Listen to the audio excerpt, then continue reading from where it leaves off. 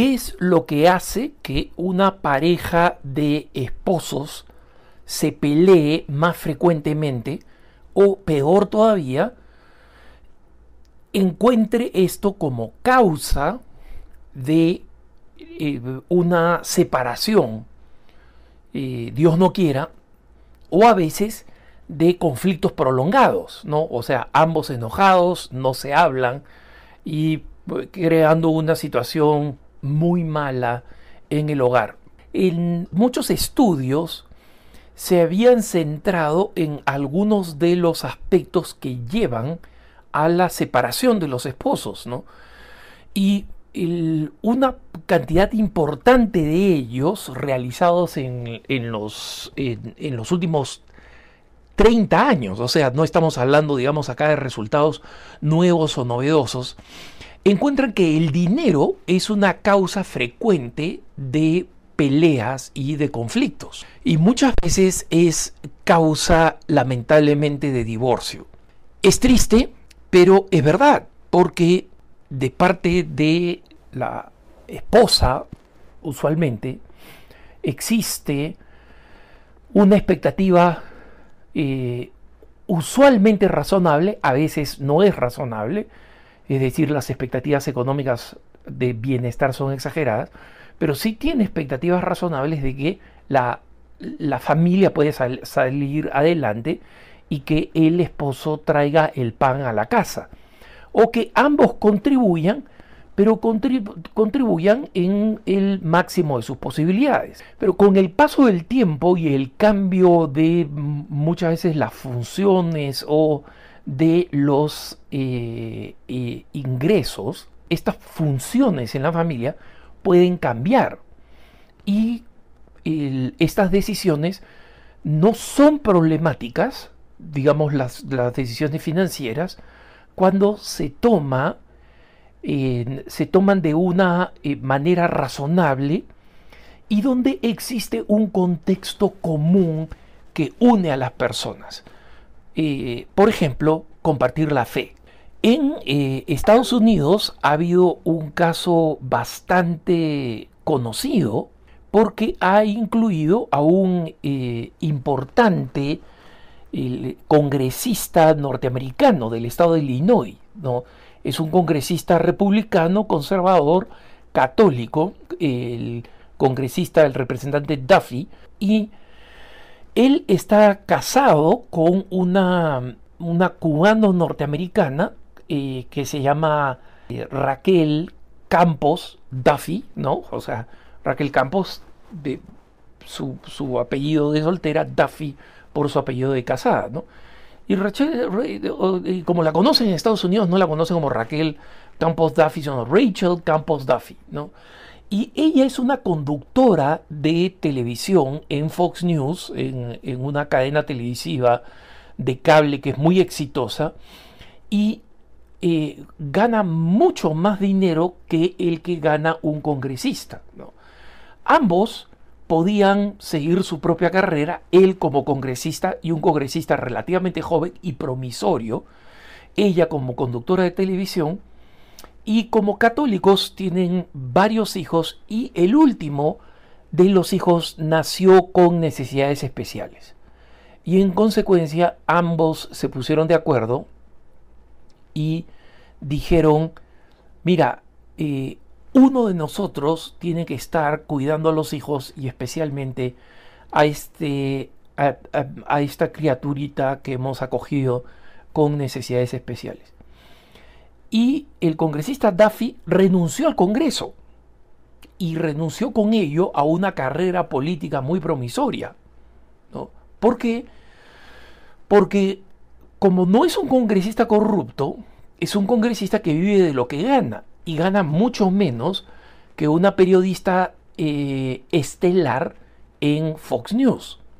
¿no? Entonces, el acuerdo es un acuerdo que ha hecho pues que eh, los, los eh, liberales se rasquen la cabeza y no sepan cómo contraargumentar o burlarse de esta familia católica comprometida, provida, dedicada a sus hijos, ¿no?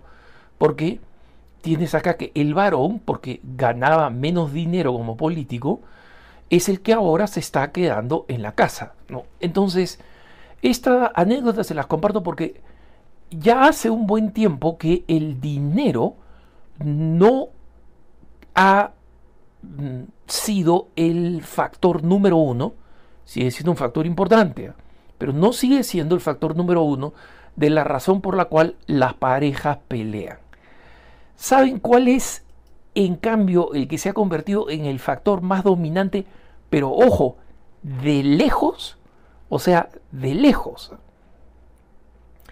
Las, el rango de parejas, dependiendo de la edad que pelean hoy en día por dinero, está entre el 24 y el 31%. ¿no?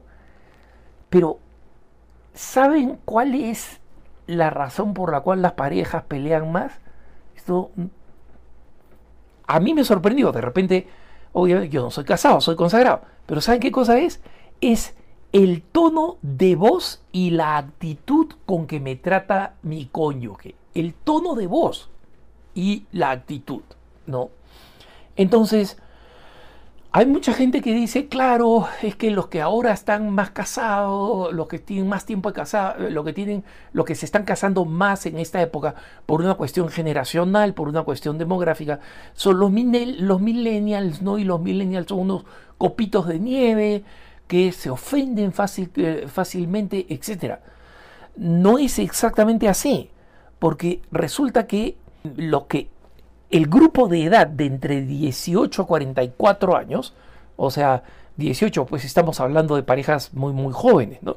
Pero de 18 a 44 años, es decir, los que entran dentro del rango de eh, millennials, se eh, les afecta el, tono de voz o la actitud entre el 31 y el 39%.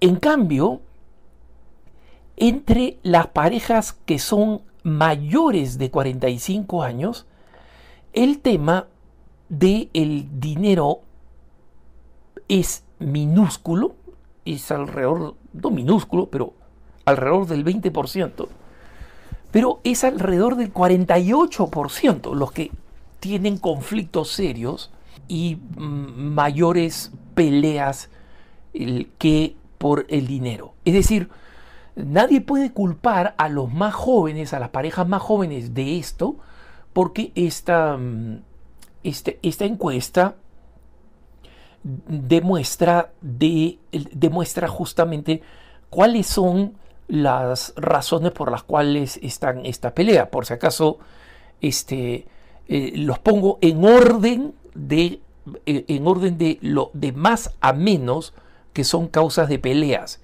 según este estudio. Primero, el tono de voz o actitud. Ese es tono de voz o actitud. Segundo, dinero. Tercero, estilos comunicacionales. Cuarto, tareas domésticas. ¿no? Eh, quinto, los suegros. O sea, yo estoy resumiendo, pero el, acá dice relaciones con la familia inmediata, ¿no? Eh, el, después de este número 5 sigue el número 6, el, eh, el tiempo cualitativo que pasan juntos, ¿no? O sea, quality time, tiempo de calidad.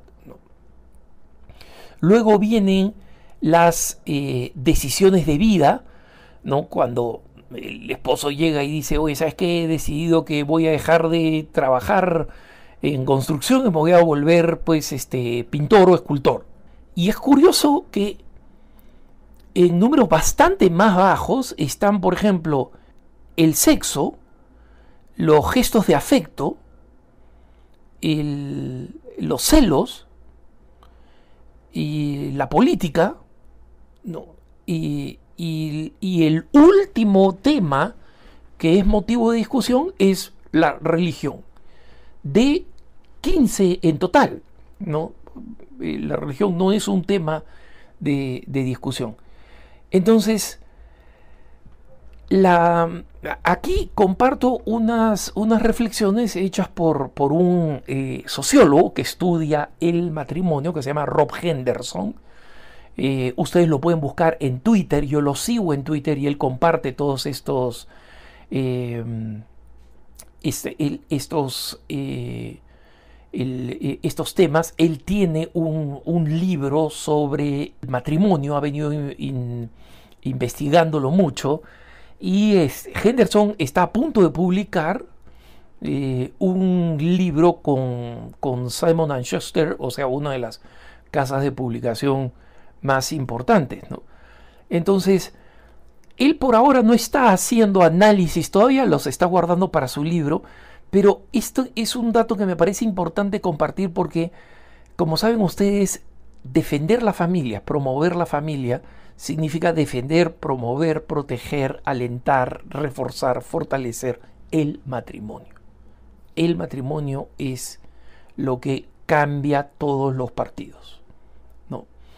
Entonces, es importante que nosotros comprendamos esta, esta realidad y veamos si es que se han disparado tanto el tono de voz y la actitud con la que se discute, veamos eh, cuán cuidadosos tienen que ser los esposos con el tono de voz. No hay mayores detalles, ¿ah? no dicen el tono de voz irónico, es el tono de voz porque representa, refleja la actitud. ¿no? Y muchas veces los cónyuges no son conscientes que ellos están utilizando términos, o, o mejor dicho, tonos de voz que son extremadamente irritantes, ¿no?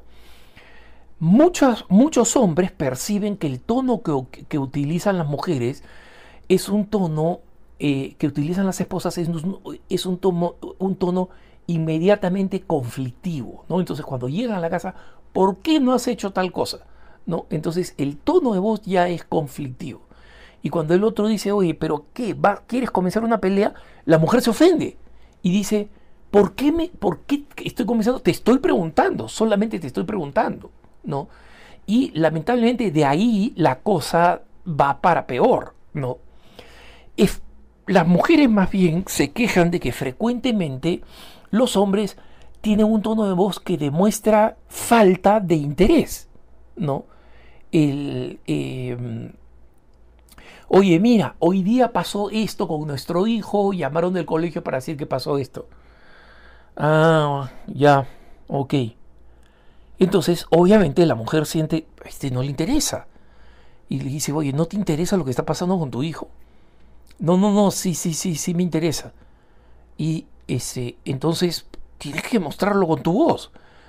No, es que vengo del trabajo cansado. Por supuesto que vienes del trabajo cansado, pero el, el tono de voz no es algo que te va a fatigar, no te vas a morir porque utilizas un tono de voz que demuestra tu interés, que demuestra tu actitud, ¿no?